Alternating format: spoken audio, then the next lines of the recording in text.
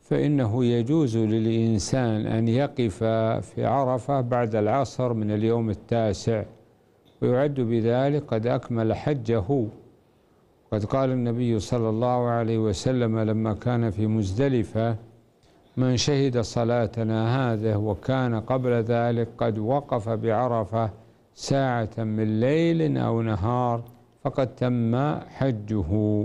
وبالتالي فإن من وقف ساعة بعد العصر في عرفة أجزأه ذلك وصح حجه ولا يغادر عرفة إلا بعد غروب الشمس.